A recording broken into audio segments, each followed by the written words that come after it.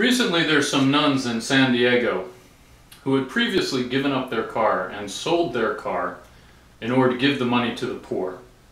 And a local businessman heard of this and was so impressed with their devotion to the poor that he donated to them a new one.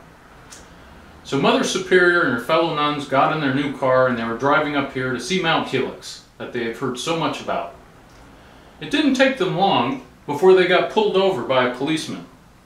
The policeman knocked on the door, Mother Superior unrolled the door, and he said, Ladies, do you know why I pulled you over? Mother Superior said, Well, I can't imagine, officer. I don't know why you pulled us over. The officer said, Everyone else on this freeway is going 65 miles per hour. You are going significantly less. And Mother Superior said, Well, officer, I can't believe that that's the case because we always follow the rules. And there's no way that we would go over or under the speed limit that's posted right there on that sign. Eight. Well, the policeman had a nice laugh. And then he noticed that there were some nuns in the back of the car who were absolutely petrified. So he said, Ladies, what's the matter with you guys? What's up? And then one of the nuns said, Oh, officer, we are so thankful. We're so thankful that you stopped us. Police officer said, Why? And they said, We just got off of 163.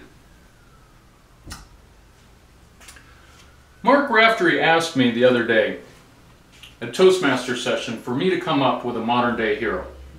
Well, I read about a modern day hero. I read about one on Sunday. His name is Lord George Weidenfeld. And George Weidenfeld was born in Austria.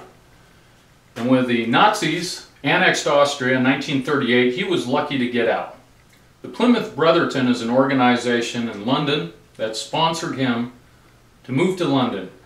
And it's a good thing he did because all of his friends and neighbors who were also Jewish ended up at Auschwitz. Well, George was very thankful for what had been done and he decided to pay it forward. So he became very successful as a publisher. He owns his own publishing company. And he has taken his money and gone and looked for some way that he can make a difference. He didn't have to look too far. In Syria right now there's a war going on. 22 million people have lost their homes. They're living in famine, poverty, death, disease. They're being murdered. And the Catholics are being persecuted. As you're aware, if you've looked in the news, 37 of them were recently beheaded. So Lord Weidenfeld decided he was going to make a difference. He was going to sponsor 150 of these Syrians and bring them to London, train them how to get jobs, teach them the English language, allow them to have a better future. I was sitting in church and I was contemplating what he had done and I thought to myself, I really admire that guy. He saved the lives of 150 people. How many have I saved today? And then to my dismay, breaking through the long-winded homily that the priest was giving, he announced, San Diego Blood Bank is going to be next door today. And if you'd like to save a life, you should go next door and donate blood. I assure you, you probably won't miss the blood, but somebody else could be alive with it.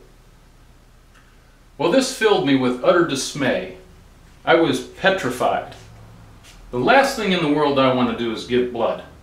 I would rather go bungee jumping. I would rather tie big rubber bands around my feet and jump off a 200 foot ledge or a 200 foot crane and go plummeting towards my death than go give blood. I fear giving blood more than anything, anything, except homosexuals. You guys know that about me. On that note, not all blood is created equal. If you are a man and have ever slept with another man, they do not want your blood. When you go to write down on the questionnaire before you give blood, if you're an intravenous drug user, they don't want your blood.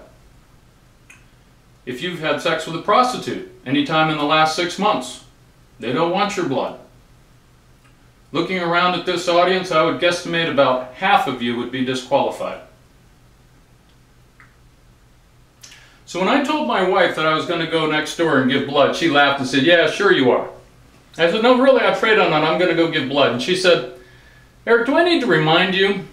The last three times you've given blood, you've ended up flat on the floor, on your back, staring up at the ceiling, with your legs up on a chair, and lots of little nurses running around saying, Oh, are you okay? Oh, can I help you?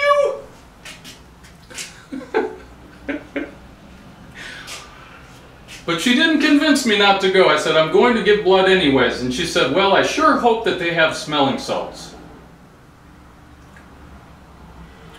You know, a funny thing happened. Not three hours after I gave blood, a broker called me up. He wanted to go give a close to full price offer on one of my properties. And with just a small amount of negotiation, he agreed to have me represent him.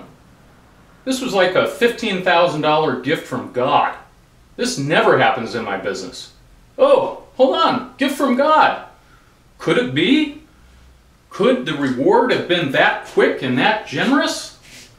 Is my priest that tight with the Almighty?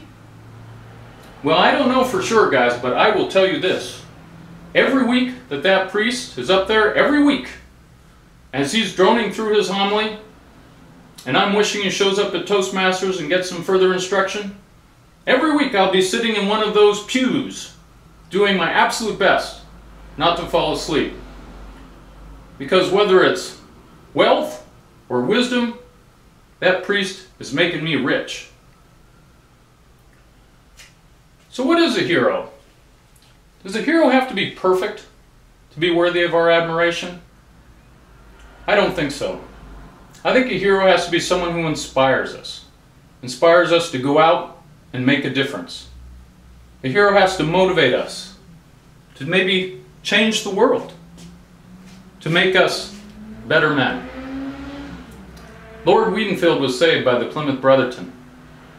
He was saved and inspired to go save the lives of 175 Catholics in Syria. And the message of my priest and the actions of Lord Weidenfeld inspired me to go give blood and maybe save a life. Let us go forward together, gentlemen.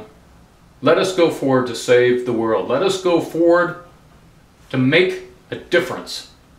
Let us go forward to be better men. Better men. And yes, Yes, San Diego Blood Bank does have smelling salts.